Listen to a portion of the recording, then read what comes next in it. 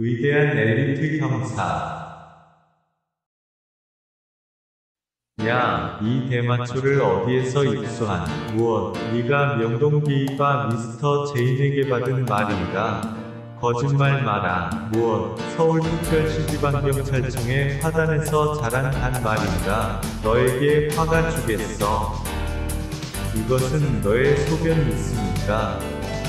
네가 이것을 마셔봐라. 무엇? 마시지 않는 단 말인가?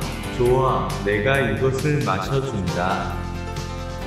너 차를 섞은 있습니까? 어? 왜 차에서 각성제의 성분이 나온 것이다.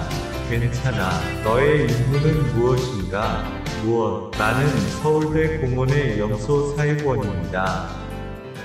미끼를 위한 울타리 안에서 대마초를 재배했습니다. 좋아, 이 남자를 체포하라. 내가 존경하는 사람이 미스터 카라저씨입니다. Thank you very much for watching. Please come and visit us anytime. Carl Uncle is waiting for you. Please subscribe to the channel. 평화 로그인